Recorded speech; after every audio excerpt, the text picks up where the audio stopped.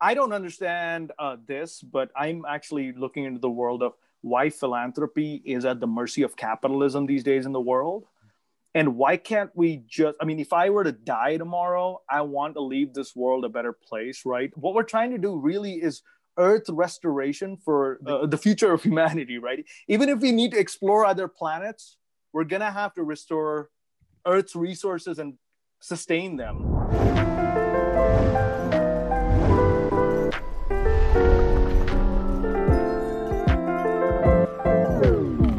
This is Kuti, and I don't know if uh, he'll let he'll stay for long. Oh wow, but... he's not a normal cat, huh? Or is that? Yeah, he. Cat? Well, he's got Ooh. this extra. Uh, yeah. It's like it's like catcher's mitt, oven mitt, you know. Where'd you find him? Well, he's um he's uh, uh you know uh, a street cat. Oh really? So we, okay. we adopted him from the street. Okay, so how did you get interested in cats? Because and you were interested in big cats, right? Yeah, I was interested in. Um, well, I was interested in big cats in general. Like, obviously, you grow, you grow up in India, you learn so much about tigers and you know lions and all the mythological yeah. lemurs and all sorts of other things right? Right right. Um, but you know the craziness didn't set in uh, up until i finished my engineering degree because you know that's what we do in india. We first get our engineering degree and then we do everything else okay okay. So how did the engineering degree take you to you know cat conservation?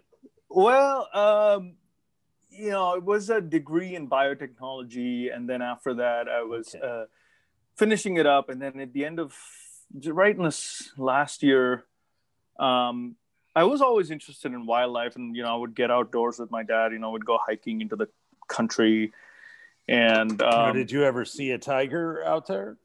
No, yeah, we went to a lot of national parks, but uh, you know, seeing a tiger is not that easy. Seeing wildcats in general is not that easy. So, yeah. um, anyway, I was I was this outdoorsy kind of person, you know, getting mm-hmm. outdoor with my dad, and then uh, my mom was in the Serengeti. Well, actually, my mom was in Tanzania. She's a doctor, she's a gynecologist, and she was practicing in Tanzania. And we got hosted by my mom in Tanzania on an international, our first international trip. So we went to the Serengeti uh, okay. uh, right in the final year of my engineering degree. And then I was in the Serengeti with uh, camping out for the first time in my life with my dad. And of course, my mom funded our trip. She didn't come on that trip.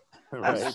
yeah. And then, you know, that just sold me because I was, uh, the best part is I was camping out with those field guides and their names were Thomas and Jerry. and, and, and, it was magical because uh, Tom and Jerry, you know, they were like so inspiring. They right. knew everything about the lions. They knew everything about the leopards, right. and all the amazing, you know, species out there in, in, the Serengeti. Now, did you did you see any of those cats? Absolutely, that was a safari that sold me into wildlife conservation, and I had to do something about it. So, uh, fast forward. Uh, 10 years I got my PhD in wildlife conservation and now there's no even, mangroves. Wait, wait, there. Jesse, let him talk. You're wait. What did you say? I yeah, yeah, mangroves is coming through. Uh, well, I, uh, I, finished my PhD in wildlife conservation and uh, changed the license plate on my car to cat DNA. Okay. We missed that. We would have missed that. Okay. Okay, cat DNA. Now, where were you I mean, living? Where were you living then? Um, well, after India moved here to Tucson, I mean, actually, I, I went to a conference in in uh, Oxford at the UK after I finished. Uh, I came back from the Serengeti, finished my engineering degree, and then I found a person working on tigers in India. Uh, at this research lab, and I got, I mean, I was fascinated with cats and wildlife, so I wanted to get into wildlife research. So right. um, I started working. You know, it's, the funny part is the first thing you if you're a wildlifer when you start uh, studying wildlife, the first thing you're handed is a bunch of poop. well, it's all up it's from a, there. You know what I mean? I, I saw, I, I, analyzed tiger poop to start with. And, and what you know, did you find out about it? What was in there? Uh, a lot of crazy stuff. So we were we were first of all using genetics to identify whether it was a tiger or another species. Right. Uh, and then the same thing, even in uh, you know when I started my master's here in uh, Arizona, it was mountain lions and bobcats. So we were trying to differentiate between the two, and then Now, find out what hard they, to do because there's not a taxonomy necessarily that that's easily understood. So are you the first person doing that, or is there already something to look at? there there's a lot of research out there. I mean it's it's extensively worked on uh, you know you can you can find out from scat you know a, it's a gold mine of information. You can tell who's who's daddy who's related to whom Mhm. uh, what species it is uh, where you know which population is it from around the area uh, in It's fact like there, when there was one aliens time scan us and, and they look around, they know all that stuff that we don't even know. Right. Yeah. Yeah. well, I mean, there was, there was a funny incident when I was uh, uh, analyzing mountain lion poop. A lady handed me uh, uh, uh, a Ziploc baggie of of poop that she thought was mountain lion, and then a, with it a bag of cookies, and she said, "Please let me know." Oh, ow. Wait, That's when I isn't got. There That's I got the nickname Scatman. Isn't there coffee from poop? Somebody's poop. There's coffee they make somewhere. That's a whole other story. But we don't. We're not, Yeah, that's right? a You know great. talking oh. yeah, we're gonna avoid all that. you Oh, know. we can avoid that. But anyway, so Kopi Luwak. Yes. yes, exactly. Thank you. Yeah. But so, you, but be, the love of the cat, though, like the love of the cat, like But but those are big cats. Those Yeah. are giant cats. How do you go from these big giant cats to these little itty bitty cats? You, you know, um, And tell us about kind the place where you feeling. tell, the same us kind of- the mangroves and being out there. And did you ever see a cat out there? And what do these cats look like? that came out later so uh you, you know like you, you you you deal with the big stuff and then you realize oh i really need to pay attention to the underdogs you know the things that don't get Mm. as much attention you, you know that feeling right Right. yeah, I do it all the time with Jesse. right We have a whole Right. company based on that. Exactly you know you know the big companies are the big companies and then there's the small companies and then you want to do something with a startup and things like that right Yeah. So anyway, uh, with I studied tigers and I studied mountain lions and I studied uh, all uh, you know I was in the big cat world and I found out that there was there were thirty uh, eight species of cat wild cats at that time. I think there are more like forty right now that have been described Mhm. uh, um, wild cats. Yeah, and people have rarely heard of these names, but you know, I'll rattle off a few: um, Andean cat, pampas cat, Pallas cat, black-footed cat, bay cat, fishing cat, rusty spotted cat. Rusty spotted cat is the world's smallest cat. It's Mhm. like it's about the size of a wine bottle right. and it lives in South Asia. So everyone knows tigers, leopards, lions, you know, all the snow leopards, all the, you know, big, beautiful um, cats. So, but then very, very little research was published on these smaller cats. And I wanted to see how we could take all the great, amazing knowledge and talent and ideas that we have and, uh, you know, that we've studied all these big cats with and then apply them to these smaller cats so that's when um, I said, okay, well, there's what's the next most endangered cat next to the tiger, and where am I from? You know, I speak four Indian languages. Uh, why can't I? You know, and I kept going back and forth between India and the U.S. Um, the last you know decade while I was doing my studies to try to do conservation work, and I found out that uh, fishing cats uh, live um, in my backyard pretty much. I mean, from the state I am from.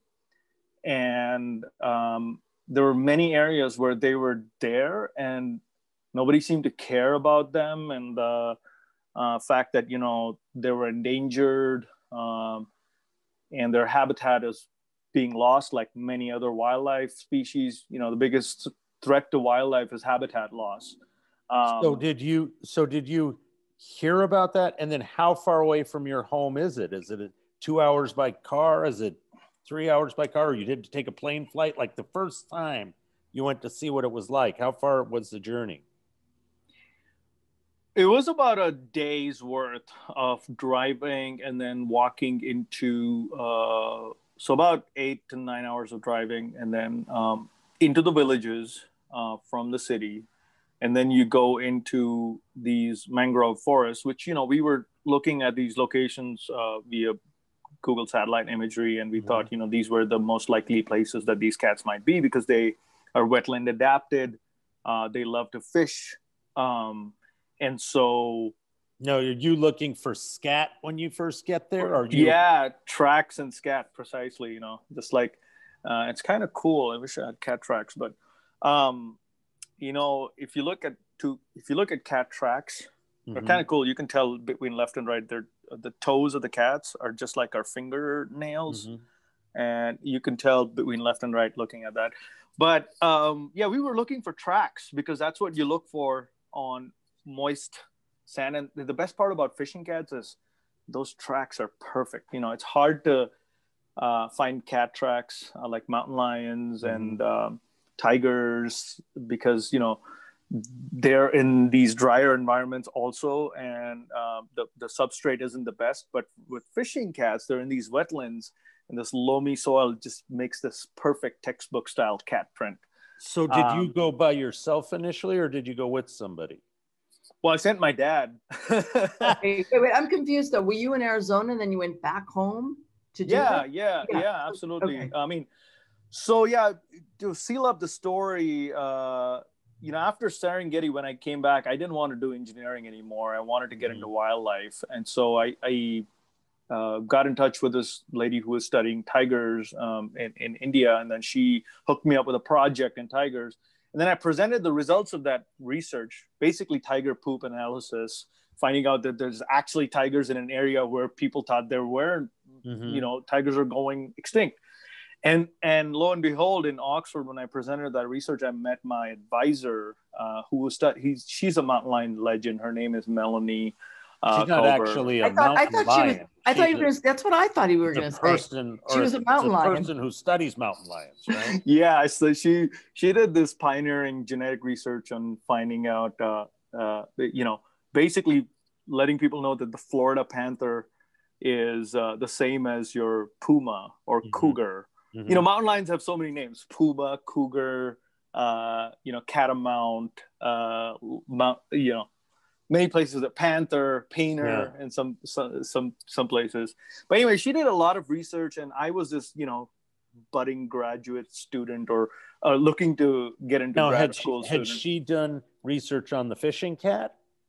No, she had not. She was uh, more into genetics and genomics of. Uh, I mean, she was into human genomics and genetics, and then mm-hmm. she uh, started doing this uh, mountain lion uh, genetics um, uh, work, and she was she became well known for that. I met her at that conference, and this was mm-hmm. a unique conference. There's never been such a conference in the world. Mm-hmm. Again, it was only one time.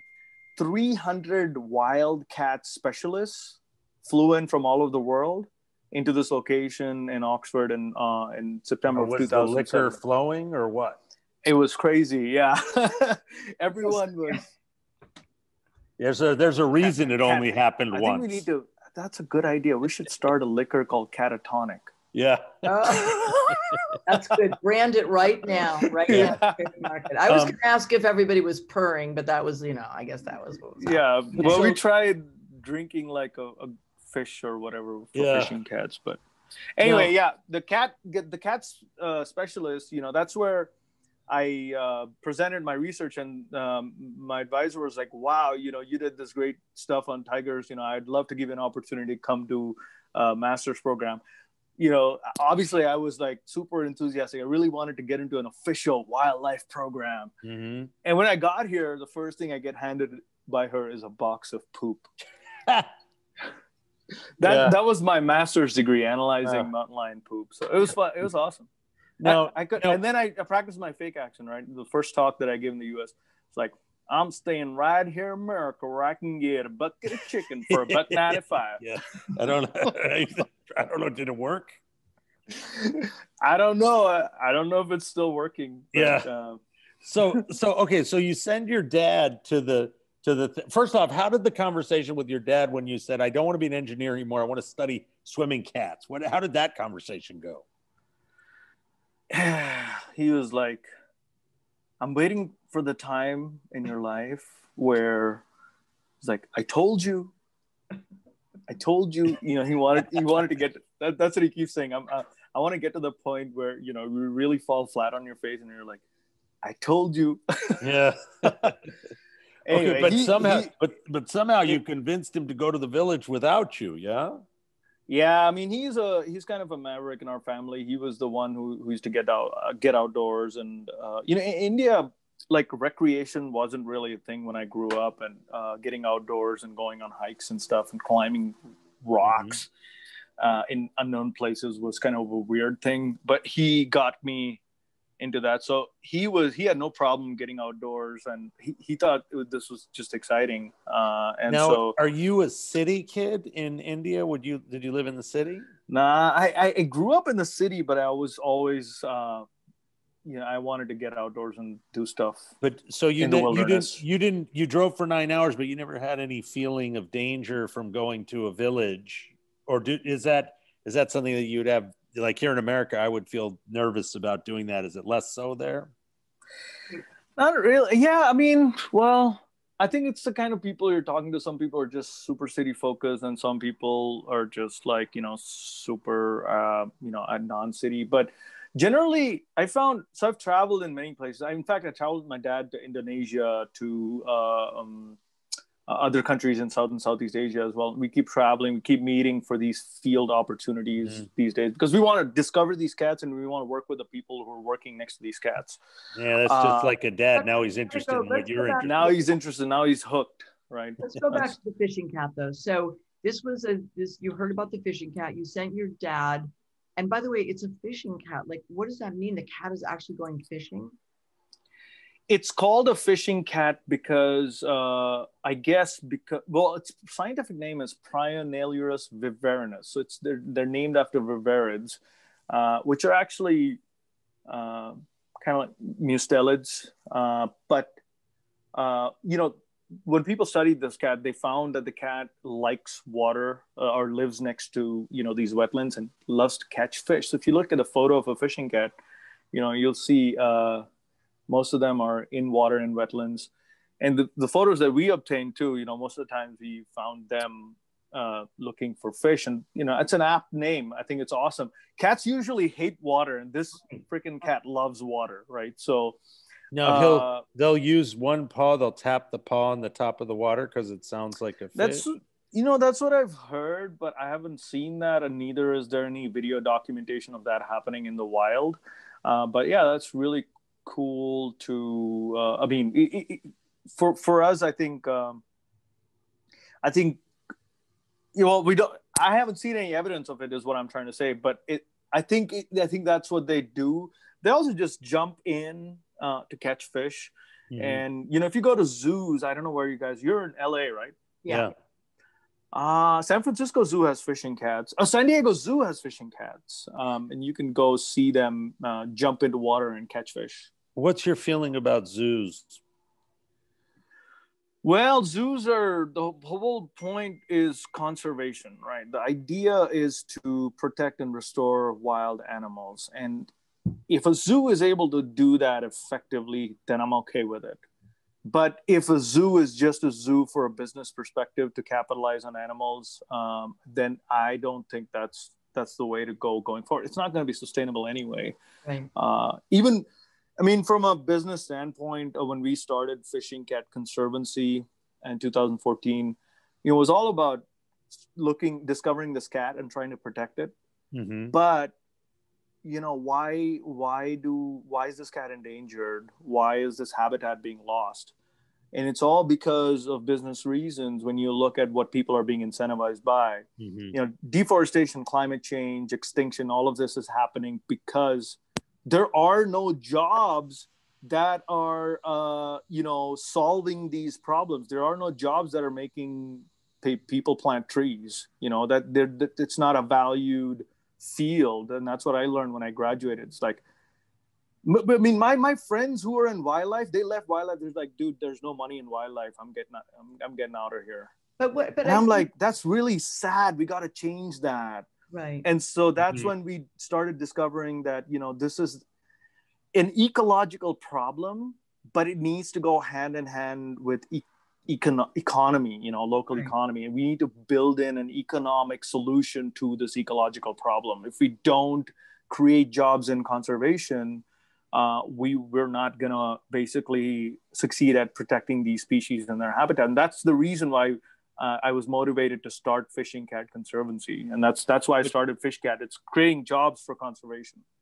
So when do you see? So you start by seeing scat. Now you know, and tracks. Now, do you? Because you can infer what the cat's doing a bit from these these uh, tracks, and you can you know you can see what other animals are doing and where they are in an ecosystem and how many there might be there. Like, what did you learn when you first went and saw that, and were you surprised that you saw tracks and scat right away? Yes, I was actually. I mean, we are our estimation that this cat is going to be in these habitats and that nobody had gone and discovered them. We were studying this cat on in paper, and there were only like 15 or 16 research papers published on it and its behavior. But we, you know, with that in preliminary information, we're like, boom, these are the locations that they might be in. Let's go check them out. And then we went there. Boom, we saw tracks. We put up wildlife cameras, which are these, you know, game cameras where motion sensor cameras where animal moves in front of them. You get a picture and we're like, "Yep, put it on this cat. You got a fishing cat." Now, did And- you did you stay there, or did you set the camera and then come back a week later? Yeah, There- yeah. We you set the camera and come back, and then you check three or four days later, and you have some pictures, and that's what. And then we started mapping these these locations and saying, okay, confirmed fishing cat, confirmed fishing cat, confirmed, and you know we'd put all these locations, and then we'd go in and find out and talk to the local people, and like, hey, have you seen this cat? And they're like, yeah, we see this cat in and out, you know. And then why why is this habitat not being protected? Because there's no incentive. Who cares? It's like cut the trees down and then use it and then build farms. By the way, the biggest threat to cats, these fishing cats and these uh, uh, locations, the habitat, is our seafood consumption. I learned Monterey Bay Aquarium became our part, or we were part, became our, their partners last year, and they. Uh, I learned that over ninety percent of the seafood consumed in the U.S. is imported, and that just blew my mind. And if you go to any grocery stores, you'll see product of India, product of Thailand, product of Vietnam, product of Sri Lanka. And it's all these fish and shrimp farms that have decimated mangrove forests. And we've lost like over 50% of the historic mangrove forest cover.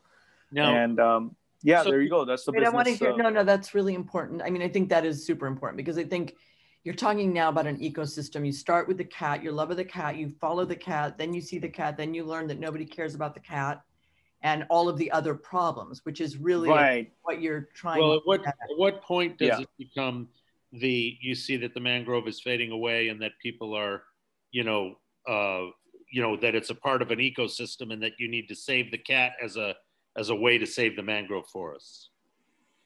Right. So um, we started out with the cat, and then we found out that this problem is going is much larger than the cat itself, um, and that the mangrove ecosystem. Well, actually, first let me clarify that fishing cats also live in inland wetland ecosystems like rivers and swamps and lakes, uh, but many of their populations are concentrated in these mangrove forests in South and Southeast Asia. So you know, 11 range countries in South and Southeast Asia, all the way from Pakistan to Indonesia. Or I should do this the opposite way. Um, so, what we discovered was mangroves in general are these amazing ecosystems. They protect coastlines from tsunamis, they are the source of freshwater fish, shrimp, and crab to local people. In many cases, you know, in, you know, a large number of human populations depend on you know sustainable fisheries from these mangrove forests. Uh, so it's a primary source of food and livelihood. They also uh, are. This is what I call the icing on the earth fact, or icing on the cake fact. Um, mangroves store upwards of five to ten times more carbon dioxide than tropical forests. So protecting an acre of mangroves is like protecting five or more acres of tropical or upland forests. Think about that. I mean, this ecosystem has probably one of the best bangs for anyone's conservation buck. Um, Ashwin, can I, I want to ask you a question. How is the overfishing? I just, just take me through and the audience through the thread, the overfishing, what, what's happening and just explain that to the audience. Like what is happening with that overfishing that kind of screws up everything else, right? Right. Aquaculture is non sustainable because, or unsustainable in many ways because you have, you've dug out a pond, you've dug out a farm on the land, right? And you're filling it with, uh, you know, concentrated you know, pollutants, chemicals, and shrimp, and you're trying to basically increase the productivity within an acre and or whatever unit area. And then after the produce is done, it's sold, and then all of that pollutant water has to be pumped out and it's pumped out into the natural rivers and so it, it, it reduces or impacts the fish stock the, the, the natural fish stock in the rivers right? And they have to keep doing this year over year over year and after three or four years the productivity of that unit acre drops off dramatically. Okay. And then they need to replenish the entire soil base and they dig it up they dig up the pond they like it completely messes up the entire okay. unit and and then because and uh, there's a lot of salt concentration. There's a lot of chemical and pollutant concentration. And so that basically and farmers lose their livelihood. Aquaculture farmers are get attracted with the money the awesome profits the first few years the short-term profits. And then long term they are their lives are complete. And these big companies they're like oh yeah i'm going to extract this. I'm going to go extract this. I'm going to extract these farmers. And then finally ultimately now aquaculture is an industry that is so focused on improving efficiency and sustainability because they, they can't live without sustainability right? And i'm going well here's a mangrove forest that is sustainably producing fish shrimp and crab. And you don't have to pump it with chemicals. You don't have to uh, you know provide do uh, basically uh, anything to it and it will naturally produce albeit it won't be as high of a productivity level. But guess what? We can create multiple sources of income with a mangrove forest. Not only would it provide for your food and uh, li- you know base livelihood, we can make it a carbon sink and get you carbon offset money. We can establish a nature reserve and get people to come visit your nature reserve and get you a third source of income. So, and then we created that with FishCat. We created uh, Earth Camp. We created a nature reserve. We are experimenting with those ideas. Uh, but basically, um, you know, it's on the premise that there's enough in the world for everybody's need, but there's not enough in the world for everybody's greed, which I think is a quote by Mahatma Gandhi. So when you, um, the first um, farmer, the first fisherman you know they're not con- conservationists they're just trying to feed their families. And you've had success at turning some of them into conservationists because there's a different way of of uh, them making a living. What were the first meetings like like for that that's a that's a great question. Like we would go and just like i said you know where we left off going and exploring these locations where these fishing cats are and they'd ask like hey what are you here for? And we'd show them the photo of the fishing cat and say hey we're here to look for this cat. And can you tell us where this you know uh, have you seen this cat? And you know just kind of get the conversation started. It's a con- the cat is a conversation starter believe it or not. It's the hook for this entire program right. And then begins the idea of okay how's your life doing you know? Is there a way that nature is providing for your livelihood? And how can we so that that's that's that's what happened. And then we discovered that the problems are deep rooted i mean the local uh, fringe fishermen the really the people who do sustainable fisheries they're the ones throwing the net catching their daily catch and going mm-hmm. home they they were complaining. They were like you know all these farmers uh, aquaculture farms they've come in they've destroyed our local fish uh, you know our uh, stock. Mm-hmm. and basically we are suffering and we want there to be and so what one case in one case uh, this is our poster child story. Um, we found one guy his name is moshi he used to be a poacher. He used to hunt these animals and he used to sell them off to the local cir- circus for a living and so we said hey you know you're a tribal uh, from this area and you'd been dependent on these forests well he, he was telling us his story he's like well there's really no more livelihood based on forests anymore how we used to live um, now it's all so commercialized, and we gotta do something to feed our family. He had a family of 30 people. Remember, I mean, this, this, this entire thing is a community.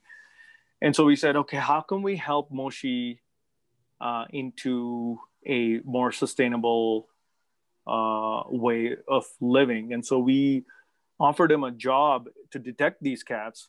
And believe it or not, we got some of the best fishing cat footage with his help. Hmm. And we we paid him for uh, a year, year and a half, and then he we connected him with the local forest authorities.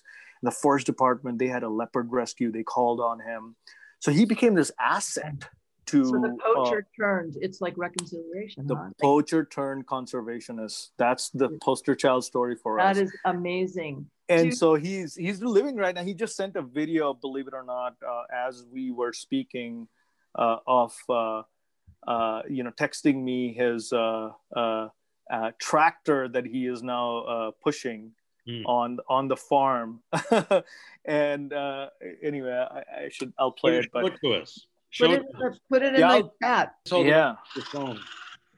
yeah. Look at him running that tractor. Ah, nice. Yeah. so basically um, the, the point i want to make is if we can create jobs and that incentivize and we're working with Venkat and other aquaculture farmers right now who are now planting mangroves in their aquaculture farms and restoring that mangrove so what we're telling Venkat is hey we will we will give you carbon offset funds or rather our incentive contracts that we provide to our land partners to grow a forest on their land. And uh, we will we will that will be your first source of income for the first few years. And as your forest grows and starts to produce you can start to uh, you know draw an income from that. And then we'll establish a nature reserve near you and basically create uh, another source of livelihood for you. So we're trying to create multiple streams of income for these guys to the Now, point you- where You you actually have done this successfully. Returned some land to mangroves. Yeah, you you had one Well- area which was overproduced, and it was, you know, yeah. we partnered we partnered with about um, 700 acres of landowners in india and sri lanka so far um, and uh, e- actually even in the us we're trying to experiment with this um, but uh, the idea i mean we, we've only done we've only really practiced restoration on about 30 to 50 acres. And that, that's what's going on right now is about we're restoring we're truly restoring about 30 to 50 acres.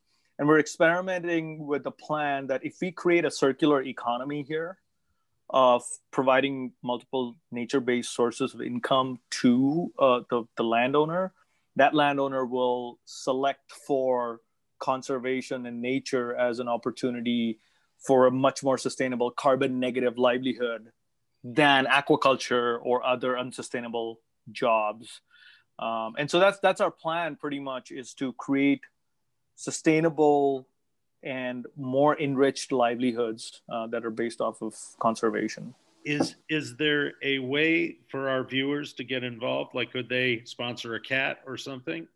I was gonna say if you go to fishcat.org, uh, w- what we're trying to do is we're trying to connect every of our donors who we call investors, right, with the land partners uh, who we are partnering with.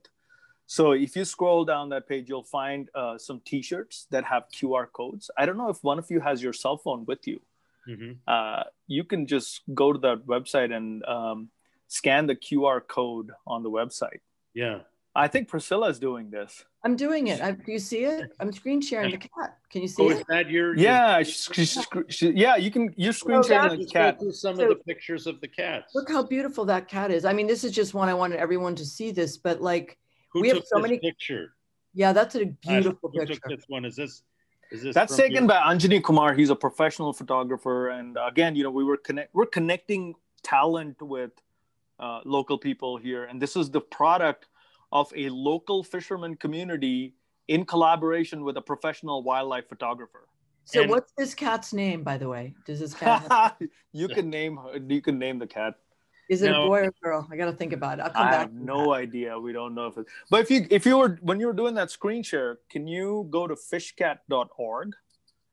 Oh, that's this was so. You know, this took me 20 minutes to figure out how to do that. Okay. I've been having Oh, a double thing happening. I've been multitasking, talking to you, trying to keep this going. And Sir, can you put on fishcat.org? Um, uh, Yeah, somebody on our team can. Sure, I'll get it. um, But, um, uh, and now, Claire's doing it. now, have you ever seen one in the wild? Yeah, it took about four years uh, of research of just tracks and poop. Yeah. But after that, finally we saw one because we had to see one, uh, and, and that was my dream. Is that one day you know we'll be able to ride on a fisherman's boat and get actually get to see the cat. Um, and were you it- surprised when it showed up? Not really, because we knew we were they were there and we documented them, and we just you know we go on a fisherman's boat and fishermen see them all the time, and Hmm. so even now as part of our Earth camps, we are restoring these lands. They become nature reserves and habitats for these cats, and you can actually go get to see them Uh, you you studied in the uh, wild. you studied tigers. You know, how's this cat different from a tiger? Um, well, not so different in terms of endangerment because they are pretty endangered, uh, but different in that uh, they're you know much smaller, uh, very less known. I wish we could make fishing cats as cool and well known, or even in fact more well known than tigers. Well, maybe we're on the way to doing that. Let's Yeah, just and- first of all, we're going to name this cat for you. That's number one. Now, I don't Right. know if I'm gonna name it really, but but uh, Well, there's a lot of cat lovers, even you know, on our team here. So, um, So- you know what is kind of amazing though, Ashwin? I'm just thinking something. You know, you started out, you were an engineer, then you fell in love with the cats, but you know, you are engineering a whole system. You are an engineer because you, started with one thing, right. about, but then you saw all of these other things. I just want to let you know, and could let your dad know, like you are an engineer. Yeah, well, he's an engineer too, and I you know he, yeah, yeah, he's an industrial engineer, and he, Well, he so loves he loves In your way. mentoring me, and you know he, his number one quote these days. Well, by the way, he visited me, and he was impressed with. Uh, he went to Sta- uh, he went to visit Stanford uh, to the design thinking uh, school IDEO, and he was he's so about design thinking these days. And he's like the number one step in design thinking is empathy.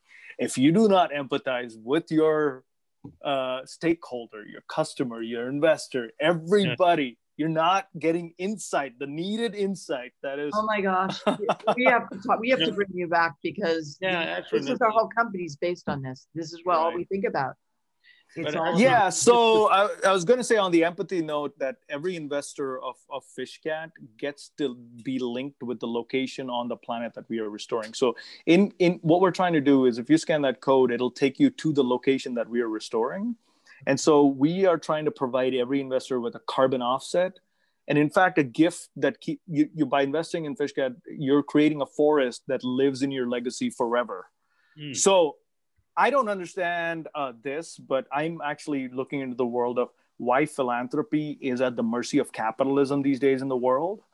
And why can't we just, I mean, if I were to die tomorrow, I want to leave this world a better place, right? And I want my money. And that's one of our top investors too. He's like, he's written off 30% of his legacy into Fishcat because what, what he wants to see is basically, uh, you know, a, a, a better world. And uh, what we're trying to do really is earth restoration for the humanity of the future uh, the future of humanity right? Even if we need to explore other planets we're gonna have to restore earth's resources and sustain them. Mhm. and so that that's our legacy model is is we want to be able to create these long-term relationships between landowner and investor and donor and basically make that a re- lifelong relationship that you know remains on the land forever.